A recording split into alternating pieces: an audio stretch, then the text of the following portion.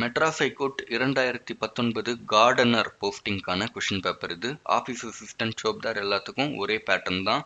Part B பதினைந்து questions Tamil ரிலேட்டடாக part A முப்பத்தைந்து கொஷின்ஸ் துறை சார்ந்து இருக்கும். இந்த கொஷின் ஃபஸ்ட்டு பார்ட் பி பதினைந்து கொஷின் பார்த்துட்டு பார்ட் ஏல இருக்க முப்பத்தஞ்சு கொஷின்ஸ் பார்க்கலாம். ஃபஸ்ட்டு முப்பத்தி ஆறாவது கேள்வி மாப்பலா வாழை என்பது என்ன? ஃபோர் ஆப்ஷன்ஸ் இருக்கு. ஃபஸ்ட்டு வினைத்தொகைனா நமக்கு என்னன்னு தெரியும். எக்ஸாம்பிள் எடுத்துக்காட்டு ஊறுகாய். அது முக்காலத்துக்குமான வினைய குறிக்கும். ஊறின காய் ஊறுகின்ற காய் ஊறிய காய். ஸோ வினைத்தொகை மாப்பிள வாழைன்றது கிடையாது. உவமை தொகை ஆப்ஷன் சி பார்த்தோம்னா எடுத்துக்காட்டு அதுக்கு என்ன சொல்லலாம்னா பவளவாய் பவளம் போன்ற வாய். ஸோ பவளம்ன்றது இந்த இடத்துல உவமையாக காட்டுறோம். ஆப்ஷன் டி பண்பு தொகை பார்க்கும்போது செவ்வாழை செம்மையான வாழை பண்பை குறிக்குது. ஸோ ஆப்ஷன் பி உண்மை தொகை தான் கரெக்டான ஆன்சர் இதுக்கு அடுத்து முப்பத்தி ஏழு மரகத புறா எங்கு வாழ்கின்றது? ஸோ மரகத புறா புறா பார்க்கும்போது மழைக்காடுகள் அடர்ந்த ஈரமான காடுகள் ஆப்ஷன் ஏ இந்த இடங்களில் வாழுது. இது இல்லாமல் கண்ட்ரீஸ் பார்க்கும்போது ஸ்ரீலங்கா அந்தமான் பிலிப்பைன்ஸ் இந்த மாதிரி நாடுகளில் பரவலாக மரகத புறா இருக்குது. அதே மாதிரி தமிழ்நாட்டினுடைய மாநில பறவை எதுன்னு பார்த்தா மரகத புறா சரி தமிழ்நாட்டினுடைய மாநில விலங்கு எதுன்னு கேட்கலாம். நீலகிரி வரையாடு அண்டு தமிழ்நாட்டினுடைய டான்ஸ் எதுன்னு கேட்டால் பரதநாட்டியம். அண்டு தமிழ்நாட்டுக்குன்னு ஒரு தனி பட்டாம்பூச்சி இருக்குது தமிழ்நாட்டுக்கான பட்டாம்பூச்சி. அதனுடைய பெயர் தமிழ் யோமான். ரீசன்ட் டேஸில் கேட்டிருக்கிறாங்க இந்த கொஷினு ரொம்ப இம்பார்ட்டண்ட் அண்டு தமிழ்நாட்டினுடைய மாநில பூ எதுன்னு பார்த்தா செங்காந்தல் மலர். பழம் எது? மாநில பழம் தமிழ்நாட்டுக்கு ரெண்டு இருக்கு. ஒன்று பலாப்பழம் இன்னொன்று மாம்பழம். ரெண்டுமே இம்பார்ட்டண்ட் அண்டு தமிழ்நாட்டினுடைய மாநில மரம் எதுன்னு பார்த்தா பனை மரம் அண்டு மாநில விளையாட்டு எதுன்னு பார்த்தா கபடி. இதுல இருந்து எதில் வேணாலும் கொஷின்ஸ் கேட்க வாய்ப்புகள் அதிகம். ஸோ முப்பத்தி எட்டு ஆராயும் அறிவு உடையவர்கள் டேஷ் சொற்களை பேச மாட்டார்கள் ஸோ ஆராயும் அறிவு உடையவர்கள் பயன் தராத சொற்களை பேச மாட்டார்கள் இது செல்ஃப் எக்ஸ்பிளனேட்டரி தான். படித்து பார்த்தா நமக்கே புரியும். அண்டு பிறர் தமக்கு செய்யும் தீங்கை பொறுத்து கொள்வது டேஷ் ஆகும். இதில் வம்புன்றது தெரியும் நமக்கு. சண்டை அந்த மாதிரியான ஒரு வட்டார சொல். அமைதின்றது தெரியும். அடக்கம்ன்றதும் தெரியும். பொறை அப்படின்றது தான் பொறுத்து கொள்ளுதல் ரிலேட்டடான ஒரு வார்த்தை. ஸோ பிறர் நமக்கு தீங்கு செய்யும் போது பொறுத்து கொள்வது பொறை ஆகும். ஓகே கைப்பொருள் என்னும் சொல்லை பிரித்து எழுதி கிடைப்பது. கை கூட்டல் பொருள்ன்றது தான் கைப்பொருளினுடைய பிரித்து எழுதுகளை கரெக்டான ஆன்சர் அண்ட் நாற்பத்தி ஒன்று சார்பெழுத்துக்கள் டேஷ் வகைப்படும். ஸோ சார்பெழுத்துக்கள் பார்க்கும்போது பத்து வகைப்படும். உயிர்மெய் ஆயுதம் உயிரிழப்படை ஒற்றலப்படை குற்றியலிகரம் குற்றியலுகரம் ஐகார குறுக்கம் அவுகார குறுக்கம் மகர குறுக்கம் ஆயுத குறுக்கம். ஸோ மொத்தம் பத்து வகைகள் சார்பெழுத்து நாற்பத்தி இரண்டு பணிவு என்பது. ஆப்ஷன்ஸ் கொஞ்சம் பொறுமையாக நம்ம படித்து பார்த்தாலே ஈஸியாக காமன் சென்ஸில் நமக்கு எதுன்னு தெரியும். ஆப்ஷன் சி உரியவற்றை ஏற்றுக்கொள்ளுதல். தவறு எனில் தன் கருத்தை விளக்கமாக கூறுதல். ஸோ மூவிங் ஆன் நாற்பத்தி மூணு நீர்நிலைகளோடு தொடர்பில்லாதது எது? ஸோ நாலு ஆப்ஷன் ஃபர்ஸ்ட் ஆப்ஷன் அகழி பார்க்கும்போது இந்த வேலூர் கோட்டையெல்லாம் போய் பார்த்தீங்கன்னா கோட்டை நடுவில் இருக்கும். சுற்றி பாதுகாப்பு அரணுக்காக தண்ணி பள்ளம் வெட்டி தண்ணி விட்டுருப்பாங்க. ஸோ அந்த மாதிரியான ஒரு அமைப்பு தான் அகழின்னு சொல்லப்படுது. ஆறுகள் தெரியும் ரிவர்ஸ் இளஞ்சின்றது என்னன்னா ஃப்யூச்சரில் நம்ம தண்ணியை யூஸ் பண்ணுறதுக்காக ஒரு பள்ளம் வெட்டியோ இல்லை தொட்டி மாதிரி கட்டியோ இல்லை ஒரு தடுப்பு போட்டோ நம்ம நீரை சேமித்து வைக்கிறதுக்கு பேர் தான் இளஞ்சின்னு சொல்லுவாங்க. ஸோ இந்த எதுலேயுமே நீர்நிலைகளுக்கு சம்மந்தம் இல்லாமல் இருக்கிறது எதுன்னு பார்த்தா ஆப்ஷன் டி புலரி தான். இதுக்கு அடுத்து நாற்பத்தி நான்கு கீழ்கண்ட வாக்கியத்தில் அடிக்கோட்டுள்ள சொல்லுக்கு சரியான பொருள் தருக. பழந்தரும் தமிழரின் கடமைகளுள் ஒன்று பொருள் ஈட்டுதல். ஸோ பொருள் ஈட்டுதல் அப்படின்றதுக்கு அர்த்தம் என்னன்னு பார்த்தா பொருள் பெருக்குதல். ஸோ இதில் ரெண்டு கன்ஃபியூஷன் எங்கே வரும்னா பி வரும் இல்லை டி வரும். பொருள் உருவாக்குதல் வந்து ஒரு தனி மனிதன் செய்கிற விஷயம் இல்லை. ஒரு கவர்மெண்ட் வேணும்னா கரன்சியை கிரியேட் பண்ணலாம். பட் ஒரு தனி மனிதன் அதை உருவாக்க முடியாது. ஸோ பொருள் பெருக்குதல்ன்றது தான் வந்து கரெக்டான ஆன்சர் மற்ற ஆப்ஷன் ஏவும் சியும் கண்டிப்பாக சம்மந்தமே கிடையாது. ஸோ மூவிங் ஆன் நாற்பத்தி ஐந்து. உவர் நிலம் என்பதன் பொருள் என்ன? உவர் உவர்ப்பு. ஸோ உப்புத்தன்மை. ஸோ ஆப்ஷன் ஏ உப்புத்தன்மை உள்ள நிலம்ன்றது தான் கரெக்டான ஆன்சர் நாற்பத்தி ஆறு ராமலிங்க அடிகளார் எழுதிய பாடல்களின் தொகுப்பு. ஸோ ராமலிங்க அடிகளார் பார்க்கும்போது ஒரு இன்ட்ரெஸ்டிங்கான ஹிஸ்ட்ரி நான் சொல்லி முடிக்கும்போது உங்களுக்கே வியப்பாக இருக்கும். ஆயிரத்தி எட்நூற்றி இருபத்தி மூணுல சிதம்பரமில் அவர் பிறக்கிறாரு. ஸோ பிறந்த ஒருத்தருக்கு இறப்புன்னு ஒன்று இருக்கும்ல. ஆனால் நீங்கள் விக்கிபீடியாவில் பார்த்தீங்கன்னா இறந்த நாள் அந்த மாதிரி ஒன்று இருக்கவே இருக்காது. காணாமல் போய் விட்டார் அப்படின்ட்டு இருக்கும். என்னன்னா தன்னுடைய ஃபீடர்கள் கிட்ட சொல்றாரு நான் இந்த ரூமுக்குள்ள போயிட்டு என்னுடைய டோர் லாக் பண்ணிக்கிறேன். கொஞ்ச நேரத்துக்கு அப்புறம் நான் இல்லாம போயிடுவேன். அப்படின்ட்டு ஆயிரத்தி எட்நூத்தி சில்லற இந்த பிற்கால ஆயிரத்தி எட்நூறுகளில் சொல்லிட்டு ரூம்குள்ள போறாரு லாக் பண்ணிக்கிறாரு ஜனவரி மாசம். ஸோ லாக் பண்ணிட்டு அவர் எங்கே போனார் என்ன ஏதுன்னே தெரியலன்ற மாதிரி சொல்கிறாங்க மார்ச் இல்லை மே அந்த மாதிரி டைமில் கவர்மெண்ட் ஓப்பன் பண்ண சொல்கிறாங்க கவர்மெண்ட் ஓப்பன் பண்ணி பார்க்கும்போது அந்த ரூமுக்குள்ளே அவர் இல்லவே இல்லையா? ஸோ அவர் வந்து இறந்த நாள் அப்படின்ட்டு வராது டிஸப்பியரன்ஸ் அப்படின்ட்டு தான் அவருக்கு வரும். இது ஒரு விஷயம். அவரை பற்றி அதை தாண்டி கொஷின் ரிலேட்டடாக பார்க்கும்போது அவர் திருவருப்பான்ற நூலை இயற்கியிருக்காரு இந்த திருவருப்பான்றது ஆறு திருமுறைகளின் தொகுப்பு. ஸோ ஒரு திருவருப்பால எத்தனை திருமுறைகள் இருக்கும் அவருதுன்னு பார்த்தா ஆறு திருமுறைகள் இருக்குது.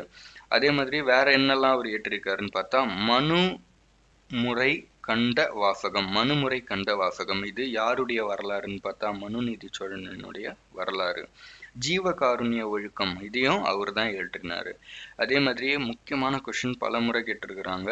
சமரச சுத்த சன்மார்க்க சத்திய சங்கம் இதை நிறுவியவர் யாருன்னா திரு ராமலிங்க அடிகளார். திரும்பவும் சொல்கிறேன் சமரச சுத்த சன்மார்க்க சத்திய சங்கம்.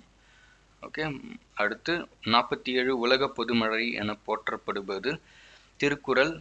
இதுக்கு அடுத்து நாற்பத்தெட்டு நா மாநகர் என்பது. ஸோ மாநகர்ன்றது வந்து உரிச்சொல். எப்படின்னு பார்த்தா மாநகர் சென்னை அப்படின்னு ஒரு வார்த்தை இருக்குது இதில் சென்னைன்றது பெயர் சொல் அந்த சென்னையினுடைய அடிஷ்னல் இன்ஃபர்மேஷனை மாநகர் என்ற வார்த்தை சொல்கிறதுனால அது உயிர் சொல்லாக கருதப்படுது. அடுத்து நாற்பத்தி ஒன்பது தென்னிந்தியாவின் ஏத்தன்ஸ் என அழைக்கப்படுவது மதுரை. தூங்கா நகரமும் மதுரை தான். அதே மாதிரி திருநெல்வேலி பார்க்கும்போது திருநெல்வேலியில் இருக்க பாளையம் கோட்டையை வந்து ஆக்ஸ்போர்ட் ஆஃப் சவுத் இந்தியான்னு வாங்க இது எப்படி மதுரை எப்படி ஏத்தன்ஸ் ஆஃப் சவுத் இந்தியாவோ திருநெல்வேலியில் இருக்க பாளையங்கோட்டை ஆக்ஸ்போர்ட் ஆஃப் சவுத் இந்தியான்னு சொல்லுவாங்க.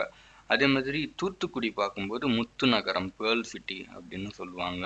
இதுக்கு அடுத்து தொண்டி தொண்டி பார்த்தோம்னா பாண்டியர்களின் முக்கியமான ஒரு துறைமுகம் இருந்த இடம் தொண்டி. ராமேஸ்வரம் ராமநாதபுரம்ல தொண்டி இருக்குது.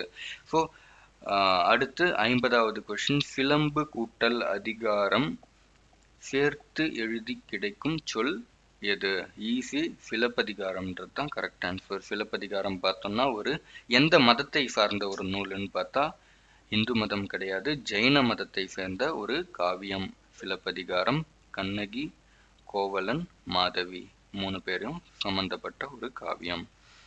இதுக்கு அடுத்து பார்க்கலாம்.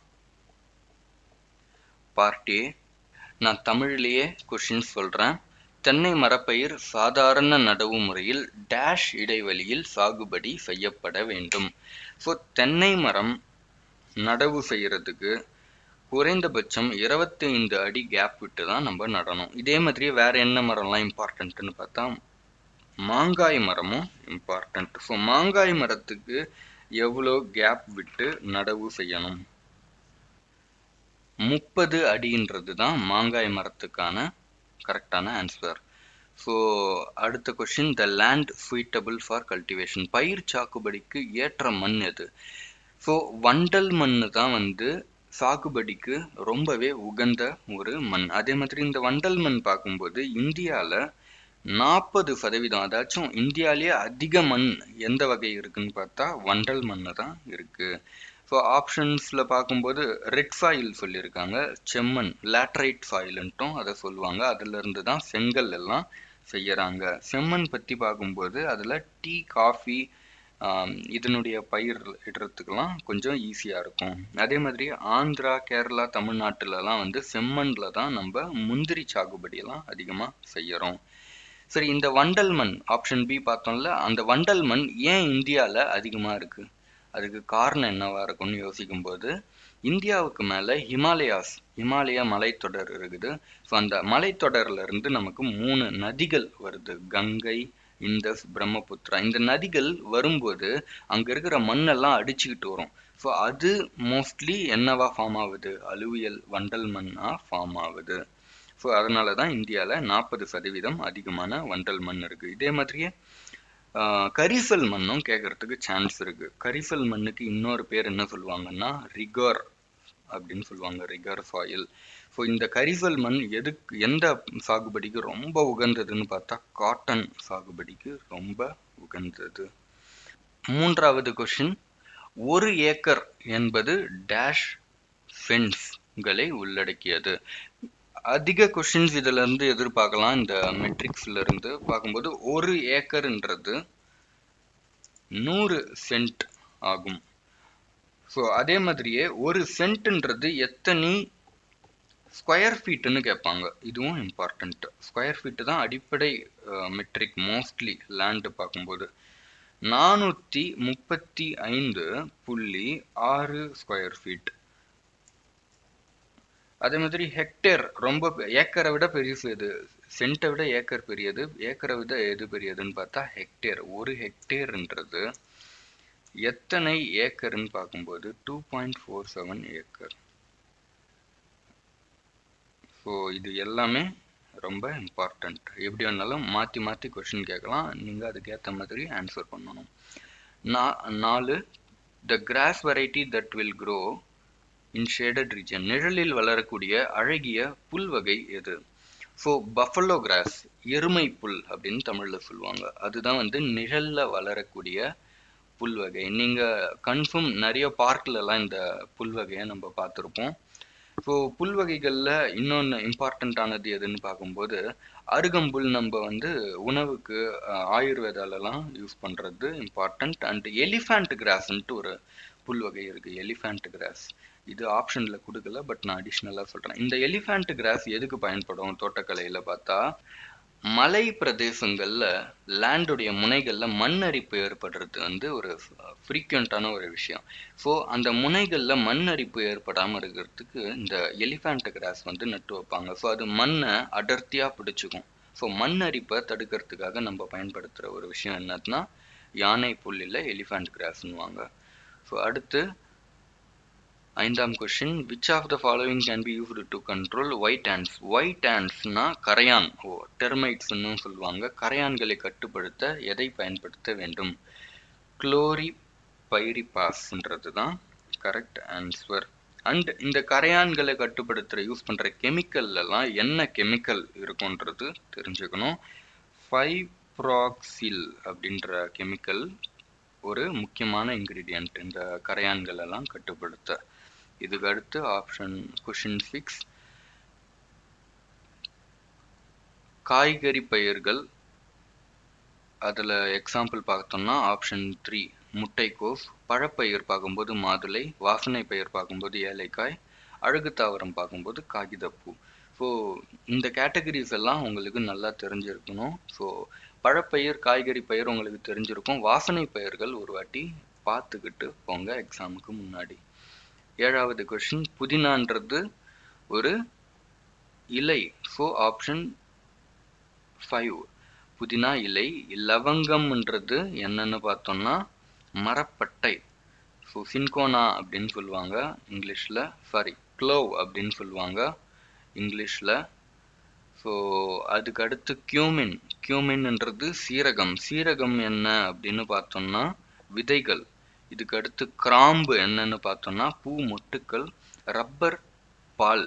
ஸோ அந்த ரப்பர் எக்ஸ்போர்ட்டில் உலகத்திலேயே அதிகமாக உற்பத்தி செய்கிற நாடு எதுன்னு பார்த்தா தாய்லாந்து. இந்தியாவில் உற்பத்தி அதிகமாக செய்கிற ஸ்டேட் எதுன்னு பார்த்தா கேரளம். ஸோ கேரளம் தொண்ணூறு சதவீத ரப்பர் ஏற்று உற்பத்தி இந்தியாவில் பண்ணுறது கேரளம் தான். இதுக்கு அடுத்து இருக்கிற பிளேஸில் தான் வந்து தமிழ்நாடு இருக்குது. எயித்து கொஷின் பசுந்தாழ் உரம் இடுவதின் மூலம் மண்ணின் டேஷ் சத்து அதிகமாகிறது. ஸோ இதில் மூணு வகை நான் சொல்கிறேன் நோட் பண்ணிக்கோங்க. ஏன்னா சான்சஸ் நிறைய. இந்த மூணுலேருந்து ஏதோ ஒன்று கேட்குறதுக்கு ஸோ தழைச்சத்துன்றது என்ன அப்படின்னு பார்த்தா நைட்ரஜன் சத்தை தான் தழைச்சத்து அப்படின்னு சொல்கிறாங்க அதுக்கு அடுத்து ஆப்ஷன் பியில் இருக்கிற சாம்பல் சத்து. சாம்பல் சத்துன்றது என்னன்னு பார்த்தா பொட்டாசியம் தான் சாம்பல் சத்து. பொட்டாசியம் கேன்ற சிம்பிளால் டினோட் பண்ணுவாங்க. பொட்டாசியம் இதுக்கு பேர் தான் சாம்பல் சத்து. இதுக்கு அடுத்து மணிச்சத்து. மணிச்சத்துன்னா என்னன்னு பார்த்தா ஃபாஸ்பரஸ் பாஸ்பரஸுக்கு பேர் தான் மணிச்சத்து. இதுக்கு இதே மாதிரி கந்தகம்ன்ட்டு ஒன்று இருக்குது கந்தகம் அப்படின்னா என்னென்னா சல்ஃபரை தான் கந்தகம் சொல்லுவாங்க. ஸோ பசுந்தாழ் உரம் இந்த லீவ்ஸ்லாம் இருக்குல்ல வேஸ்ட் ஆகிற இலைகள் அதெல்லாம் மண்ணில் இடுவதன் மூலமாக தழைச்சத்து நைட்ரஜன் கண்டென்ட் வந்து இன்க்ரீஸ் ஆகும். இதுக்கு அடுத்து சாக்லேட்ஸ் இனிப்பு வகைகள் டேஷ் மரத்தின் விதையிலிருந்து தயாரிக்கப்படுகிறது. கோகோ மரம்ன்றது வேர்ல்டு ஃபேமஸான விஷயம். இதுக்கு அடுத்து ஏழைகளின் ஆப்பிள் என டேஷ் பழம் அறியப்படுகிறது. ஏழைகளின் ஆப்பிள்ன்ட்டு கொய்யா பழத்தை நம்ம சொல்லுவோம். அதே மாதிரி சிக்குன்ட்டு ஆப்ஷன் பியில் இருக்கிற சப்போட்டா பழம் வந்து வருடம் ஃபுல்லாகவும் கனி தரக்கூடிய ஒரு வகை. ஆம்லான்றத வந்து இந்தியன் கூஸ்பெர்ரி அப்படின்னு சொல்லுவோம். இந்தியன் கூஸ்பெர்ரின்றதும் ஆம்லான்றதும் ஒன்று தான் ஊட்டி பிளம்ஸும் ஃபேமஸான ஒரு ஃப்ரூட் இதுக்கு அடுத்து natural pesticide is made from which part of neem tree வேப்ப மரத்தின் டேஷ் பகுதி இயற்கை பூச்சிக்கொல்லிக்கு பயன்படுத்தப்படுகிறது. வேப்ப மரத்தினுடைய விதைகளை தான் யூஸ் பண்ணி பூச்சிக்கொல்லியாக பயன்படுத்துவாங்க. ஸோ ஆப்ஷன் சி தான் கரெக்ட் ஆன்சர் அடுத்த கொஸ்டின் அனைத்து பூச்சிக்கொல்லி லேபிள்களில் மனித உயிருக்கு ஆபத்தானவை என எச்சரிக்கை குறியீடு இருக்கும். அதில் எந்த சைகை அதிக விஷத்தன்மை உடைய பூச்சிக்கொல்லி என்பதை காட்டும். ஸோ கீவேர்டு எதுன்னு பார்த்தா அதிக விஷத்தன்மை. ஸோ அதிக விஷத்தன்மை இருக்கிற ஒரு பூச்சிக்கொல்லியை வந்து அபாயம் டேஞ்சருன்ற ஃபைனால் சிம்பிளால் லேபிள் பண்ணியிருக்கணுன்றது ரூல்ஸ் ஸோ ஆப்ஷன் பி அபாயம்.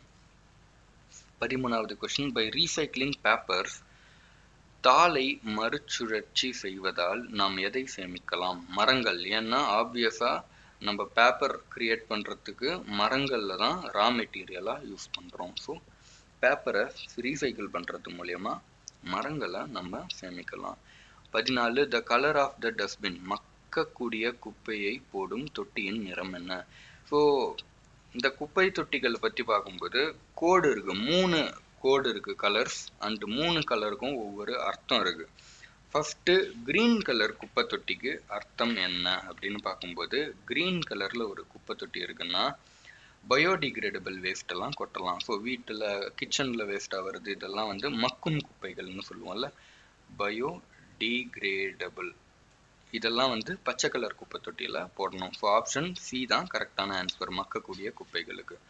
இதே மாதிரியே பிளாக் கலர் டஸ்ட்பின் இருக்கு. கருப்பு கலர்லான டஸ்ட்பின் இதில் என்ன போடணும்னா இ வேஸ்ட்டெல்லாம் போடணும். இ வேஸ்ட்னா ஒரு மொபைல் ஃபோன் உடஞ்சிடுச்சு அதுக்கப்புறம் கம்ப்யூட்டர் உடஞ்சிடுச்சு இதெல்லாம் வந்து வேஸ்ட் ஆனதும் எதில் போடணும்னா பிளாக் கலர் டஸ்ட்பினில் போடணும். அதே மாதிரி ப்ளூ கலர் இருக்குது ஸோ ப்ளூ கலர் குப்பை தொட்டியில் நம்ம எதெல்லாம் போடணும் அப்படின்னு பார்த்தா பிளாஸ்டிக் வேஸ்ட்டு அப்புறம் மெட்டாலிக் வேஸ்ட்டு இதெல்லாம் வந்து ப்ளூ கலர் குப்பை தொட்டியில் போடணும். பிளாஸ்டிக்னு சொல்லும்போது மக்காத குப்பைகள்ன்ட்டும் ஒரு அர்த்தம் இருக்குது ஸோ மக்கும் குப்பைகளை பச்சை கலரில் போடணும் மக்காத குப்பைகளை ப்ளூ கலரில் போடணும். பதினைந்தாவது கொஷின் டீச்சர்ஸ் டே எந்த நாளில் செலிப்ரேட்டப்படு பண்ணப்படுகிறது? ஆசிரியர் தினம் செப்டம்பர் ஐந்து திரு சர்வபள்ளி ராதாகிருஷ்ணன் அவர்களின் பிறந்த நாளை குறிக்கும் விதமாக கொண்டாடப்படுகிறது. இந்தியாவின் முதல் துணை குடியரசுத் தலைவர் அவர்தான். பதினாறாவது கொஷின் த மெயின் இன்கிரீடியன்ட் பஞ்சகாவியம் தயாரிக்க தேவைப்படும் முக்கிய பொருள்கள் எதிலிருந்து கிடைக்கப்படுகிறது? ஸோ பஞ்சகாவியா கண்டிப்பாக உங்களுக்கு தெரிஞ்சிருக்கணும். அதை பற்றி கே கொஷின்ஸ் கேட்க வாய்ப்புகள் இருக்கு.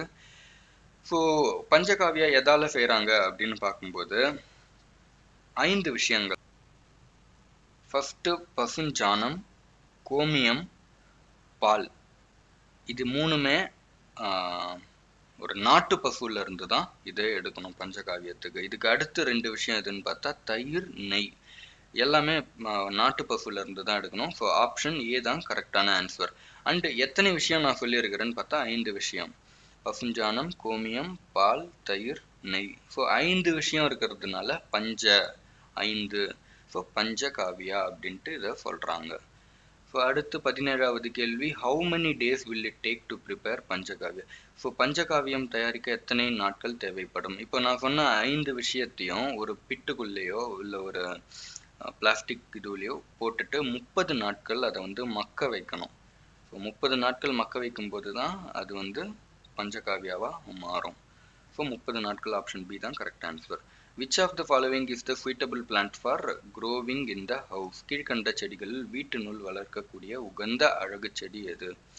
So option B dieffenbachia so இவங்க தப்பாக ஸ்பெல்லிங் போட்டிருக்காங்க. டிஐஇஎஃப்எஃப்இஎன் பிஎஸ்சிஹெச்ஐஏ இதுதான் இதோட கரெக்டான ஸ்பெல்லிங் நிறைய ஆஃபீஸ்லலாம் பார்க்கலாம். வீட்டுக்குள்ளேயும் நிறைய பேர் வச்சுருப்பாங்க. இந்த செடி லிமிட்டாக வளரும். அதே மாதிரியே பார்க்க அழகாக பிளாஸ்டிக் மாதிரியே இருக்கும். இந்த டிஃபன் பேக்கியா செடியில் இன்னும் உட்பிரிவுகள் ஐம்பத்தி ஆறு அந்த மாதிரி இருக்குது விக்கிபீடியாவில் நான் பார்த்த வரைக்கும் ஐம்பத்தி ஆறு உட்பிரிவுகள் இருக்குது ஸோ நாட்டுக்கு நாடு அது மாறும். அடுத்த கேள்வி which is the follow flowering season for mango tree மாப்பயிரில் பூ பூக்கத் தொடங்கும் காலம் எது? மார்கழி தைன்றது தான் கரெக்டான ஆன்சர் அதே மாதிரியே இருபதாவது கேள்வி மா சாகுபடியில் சாதாரண நடவு முறையில் பின்பற்றப்படும் பயிர் இடைவெளி. தென்னைக்கு பார்த்தோம். இருபத்தி ஐந்து அடி கேப்பில் தான் வந்து ரெண்டு தென்னை வந்து நடணும்ன்ட்டு அதே மாதிரி மாமரத்துக்கு பார்க்கும்போது முப்பது அடி வித்தியாசத்தில் தான் நடணும். அதுக்கடுத்து விச் கிராப் சிவப்பு கூன் வண்டுகளால் தாக்கப்படும் பயிர் எது?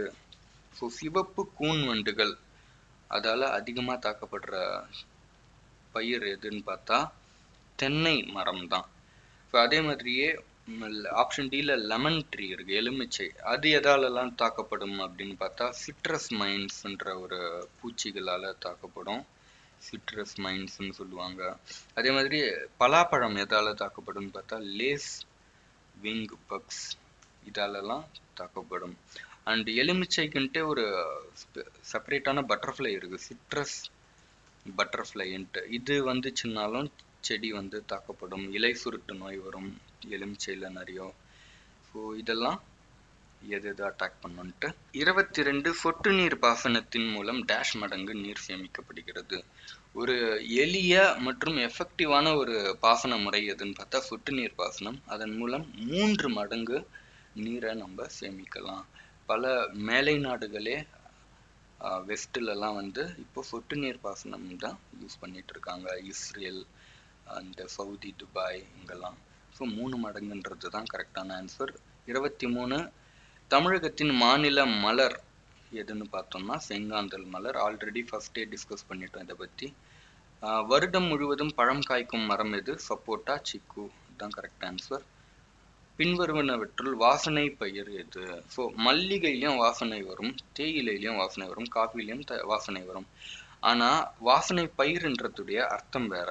மல்லிகையினுடைய பொருள் எதுக்குன்னு பார்த்தா வாசனை பயிருக்காகல அது ஒரு அழகு பயிர் மாதிரி தான் ஸோ மிளகு அதை தான் வந்து வாசனைக்காக நம்ம பயிரிடுறோம். ஸ்பைசஸ்ன்னு சொல்லுவோம். மிளகுக்கு பிளாக் கோல்டு அப்படின்ட்டு ஒரு பெயரே இருக்குது சிறப்பு பெயரே. பிளாக் கோல்டுன்னு சொல்லுவாங்க. அண்டு பெட்ரோலியமையும் பிளாக் கோல்டுன்னு சொல்லுவாங்க. ஒரு சில நேரத்தில் ஆப்ஷனில் மிளகு இல்லாமல் பெட்ரோல் இருந்துச்சுன்னா நீங்கள் அதை செலக்ட் பண்ணுங்க ஆப்ஷன்ஸ் பார்த்து. இதுக்கு அடுத்து இருபத்தி ஆறாவது கேள்வி. ஊர் பேருக்கு கொடுத்து அந்த ஊருக்கு சிறப்பான பழம் காய்கறிகள் அந்த மாதிரி கொடுத்துருக்காங்க. மதுரைக்கு ஃபேமஸ் பார்த்தா மல்லிகை சேலம் மாம்பழம் பன்ரொட்டி பலாப்பழம் தஞ்சை நெல் தேனி திராட்சைன்றது கரெக்ட் ஆன்சர் இருபத்தி ஏழாவது கேள்வி ஒரு ஹெக்டேர் டேஷ் ஏக்கர் ஆல்ரெடி பார்த்தோம் நம்ம. ஒரு ஹெக்டேர்ன்றது ரெண்டு புள்ளி நாலு ஏழு ஏக்கர் ஆன்சர்ஸில் பா ஆப்ஷன்ஸில் பார்க்கும்போது ரெண்டு புள்ளி அஞ்சுன்றது ரெண்டு புள்ளி நாலு ஏழுக்கு கிட்டத்தட்ட ஒரே மாதிரி தான் ஸோ ஆப்ஷன் பி தான் கரெக்ட் ஆன்சர் இருபத்தி எட்டு லாங்கஸ்ட் ரிவர் இன் இந்தியா இந்தியாவின் மிகவும் நீளமான நதி கங்கை. ஸோ இந்தியாவில் நீளமான நதி கங்கை. அப்போ தீபகற்ப இந்தியாவில் நீளமான நதி எது? ஸோ தீபகற்ப இந்தியான்னு பார்க்கும்போது கீழே சவுத் இந்தியாவில் அது எதுன்னு பார்த்தா நர்மதான்றது தான் கரெக்ட் ஆன்சர் ஸோ நர்மதா தான் தீபகற்ப இந்தியாவில் லாங்கஸ்ட் ரிவரு அதே மாதிரி தமிழ்நாட்டில் நீளமான நதி எது அப்படின்னு பார்த்தா காவேரின்றது தான் கரெக்ட் ஆன்சர் இருபத்தி ஒன்பதாவது கேள்வி தமிழ்நாட்டின் மாநில மரம் எது? பனை மரம் ஆல்ரெடி பார்த்துட்டோம். முப்பது எந்த மாநிலம் பூ சாகுபடியில் முதலிடம் வகிக்கிறது? தமிழ்நாடு. அதுதான் கரெக்ட் ஆன்சர் தமிழ்நாடுக்கு அடுத்து கர்நாடகா. ஓகே முப்பத்தி ஒன்னாவது கொஸ்டின் காளான்களின் கீழ்கண்டவற்றில் எது இல்லை? காளான்கள் பார்க்கும்போது பச்சையாவே இருக்காது. அதே மாதிரி உணவு வந்து சூரிய ஒளியிலிருந்து ப்ரிப்பேர் பண்ணது ம காளான்கள் எப்பயும் நிழல் சார்ந்த ஒரு இடத்துலயே தான் வளர பார்க்கும். கொஞ்சம் மாய்ச்சர் நீர நீர் பதம் வந்து அதிகமாக இருக்கிற இடத்துல தான் வளர பார்க்கும். ஏன்னு கேட்டால் அதில் பச்சையம் கிடையாது. பச்சையம் இருக்கிற தாவரங்கள்லாம் சூரிய ஒளியிலிருந்து உணவு தயாரிக்கும். ஆனால் காளான் பார்க்கும்போது பச்சையம் இல்லாததுனால சூரிய ஒளிலாம் தேவையில்லை அதுக்கு. அப்போ எப்படி ஒரு காளான் உணவு தயாரிக்கும் அப்படின்னு பார்த்தா இறந்த பொருட்கள்லேருந்து அதாச்சும் கட்டை இந்த மாதிரி இறந்த டெட் ஆர்கானிக் மேட்டர்லேருந்து மெட்டபாலிக் ரியாக்ஷனில் அது வந்து வேதியியல் மாற்றங்களால் தன்னுடைய உணவை தயாரிக்கும். ஸோ ஆப்ஷன் சி குளோரோஃபில் தான் கரெக்ட் ஆன்சர் முப்பத்தி ரெண்டு த லைஃப் ஸ்பேன் ஆஃப் வெண்டை பயிரின் வயது டேஷ் மாதங்கள் ஆகும். ஸோ ஒரு வெண்டை பயிருக்கு அதோட லைஃப் டைம் பார்த்தா நாலு மாதங்கள். இதே மாதிரி தக்காளிக்கும் இம்பார்ட்டண்ட்டு தக்காளிக்கு டொமேட்டோ அதுக்கு லைஃப் ஸ்பேன் எவ்வளோன்னு பார்த்தா ஆறு முதல் எட்டு மாதங்கள். இதுக்கு அடுத்து வென்னிஸ் கவத் ஷால் பி ப்ரிப்பேர்ட் பழம் காய்க்கும் மரங்களில் எப்போது கவாத்து செய்ய வேண்டும்? கவாத்துன்றது என்ன அப்படின்னு பார்த்தா ஒரு செடி வந்து எடுத்துப்பாங்க. அதில் இருக்கிற பொருட்களை அதை எடுத்து நல்லா பவுடர் மாதிரி ஆக்கிடுவாங்க. பவுடர் மாதிரி ஆக்கிட்டு அதை வந்து அந்த பவுடரை ஒரு பங்கு பவுடரு பதினாறு பங்கு தண்ணின்ற மாதிரி மிக்ஸ் பண்ணிருவாங்க மிக்ஸ் பண்ணிட்டு அதை நல்லா கொதிக்க வைப்பாங்க. கொதிக்க வச்சு அந்த கொதிக்க வைக்கிற அமௌண்ட் ஆஃப் தண்ணி வந்து பாதியா மாறுற சுண்ட காய்ச்சுவாங்க. பாதியா மாறுற மாதிரி ஸோ மாற்றிட்ட உடனே அதை ஆயுர்வேதா மெடிசனா அந்த மாதிரிலாம் பயன்படுத்துவாங்க.